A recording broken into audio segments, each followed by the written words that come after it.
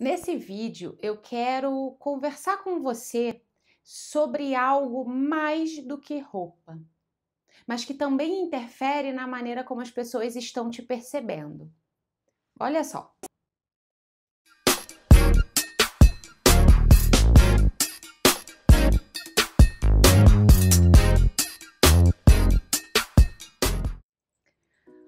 Ambiente de trabalho, principalmente, a gente costuma falar muito sobre qual seria a roupa certa para trabalhar, como que eu posso inovar, dica de styling, de como eu posso fazer uma peça normal ficar diferente, colocar acessórios, isso tudo para eu conseguir transmitir aquela imagem desejada de sou competente, mas também Olha aqui como eu sou espontânea, como eu sou criativa, diferentona. Legal. Só que existem outras coisas que a gente carrega com a gente, além de roupas e acessórios, que também contam na hora da nossa marca registrada. E é disso que eu quero falar com você nesse vídeo. Tudo que a gente carrega com a gente ou que a gente cuida transmite mensagem também. Então vamos lá. O que, que você carrega com você todos os dias? Tirando a sua roupa, os acessórios, o cabelo, se está direito, se não está, o sapato, a bolsa, você sempre carrega algo mais. Você é do tipo de pessoa que gosta de ser vista com um livro a tiracolo? E aí as pessoas te olham e pensam, hum, aquela ali pode ser intelectual, ou ela é estudante, várias outras coisas. Você anda com uma pastinha além da sua bolsa? Ou você costuma andar com uma lancheira e aí as pessoas percebem e falam, ah, aquela ali gosta de, de se alimentar mais corretamente, ela já traz o alimento dela de casa, ou às vezes é até para economizar. Qual a imagem que passa? Ou você é fitness, ou você economiza, ou as duas coisas.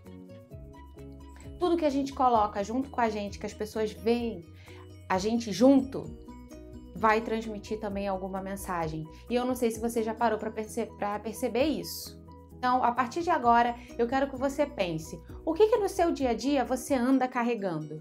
Óculos na cabeça, pendurado, tudo o que fica junto de você durante o dia e como as pessoas te veem. Se você anda com muita tralha, pouca tralha. Tem outra coisa. Como é o seu ambiente de trabalho? Como é a sua mesa? Ela está organizada? Ela tá cheia de resto de comida, você deixa o lixo até a boca. Outra forma de transmitir uma mensagem. Quando a gente fala de mensagens no trabalho, ninguém vai esperar mais de você do que aquilo que você apresenta como a sua imagem e competência. Então, se você chega para uma reunião toda descabelada, suada, esbaforida, pessoal vai começar a imaginar que não é. Não, ou você está nervosa, ou você está atrasado, o material não está pronto, o que está acontecendo? Ninguém vai esperar mais de você do que aquilo que você apresenta. Por isso que a gente tem que tomar cuidado com a nossa imagem no trabalho, porque ela conta o tempo todo. Ah, não, Mari, eu não, não é assim. Eu não posso ficar só pensando no que os outros vão pensar de mim no trabalho. Se você quer crescer na sua carreira, você tem que ter em mãos o poder de que a sua imagem está transmitindo alguma coisa e você consegue pelo menos controlar isso. Você não consegue controlar o que o outro vai achar, mas você consegue controlar o que você vai mostrar. Então, o que, você, que estiver com você, a sua roupa, o seu dress code, se estiver de acordo com a cultura da empresa, demonstra que você está coerente com o ambiente que você trabalha, a sua mesa, tudo isso conta pontos para você. Quando você chegou na entrevista, você não quis mostrar o seu melhor para que aquela empresa comprasse você?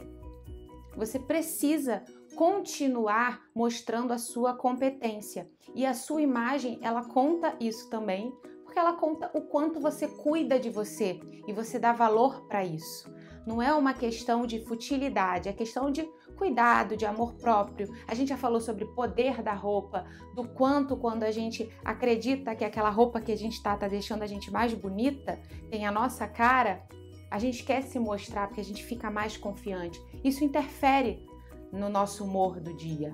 Eu quero que você saia daqui pensando: o que eu costumo carregar comigo? O que as as pessoas costumam perceber de mim? Como é o meu ambiente de trabalho? Qual é o meu melhor que eu posso mostrar ainda mais para as pessoas sem que eu precise explicar, falar só com a minha imagem? Se você gostou desse vídeo, curte, compartilha, comenta. Me diz se você gostou. Um beijo e até a próxima!